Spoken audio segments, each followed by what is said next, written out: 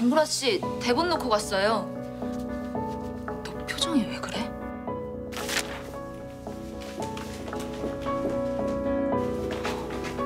김보라가 우리 얘기 들었나 보네. 근데 표정이 왜 저러지?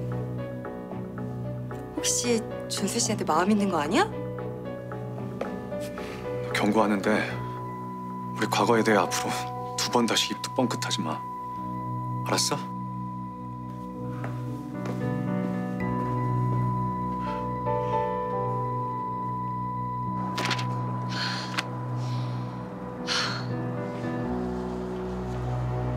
방금 무슨 일 있었어?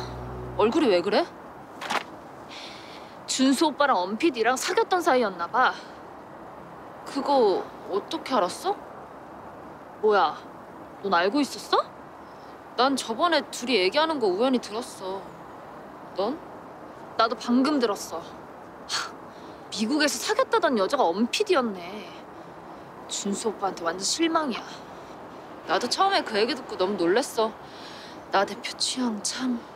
아니 하필 만나도 어떻게 엄피디 같은 여자를. 곧 생방인데 컨디션 조절 잘하고 릴렉스, 어?